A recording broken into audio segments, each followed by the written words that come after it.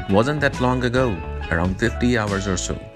I was covered by news and many media shows. The day started all usual. Sun was colder than I had thought. And yeah, you heard it right. That was the day when I got shot. I didn't know earlier I was meeting a pro. Hey, don't you worry, I think I'm fine, bro. The encounter was so close, my heart missed a few beats.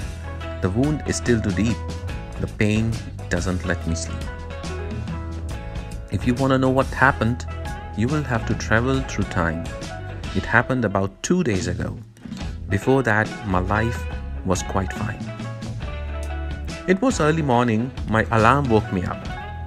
I got off my bed, went for my morning mess, from there to the kitchen for a cup of tea, and then a usual shower to make me fresh. As I was getting ready for my work, the phone rang. We had won our biggest deal. It was a colleague giving me the news. I pinched myself. It was real. I could still feel. That wasn't all. The story had more. I was to receive a prestigious award. Now the day was turning quite different. Didn't know what all was on the card.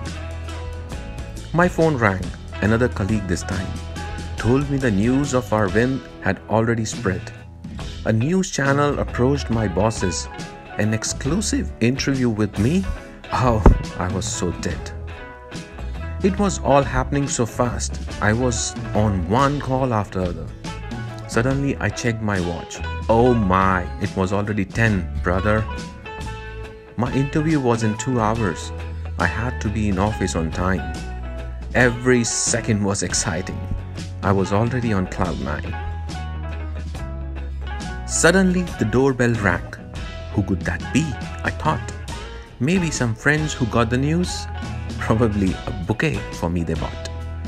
As I reached the door, I saw this bright and lovely face. I couldn't recognize her. An assassin who won't leave a trace. She was a reporter, she said. Came for my interview. Oh, she looked hot.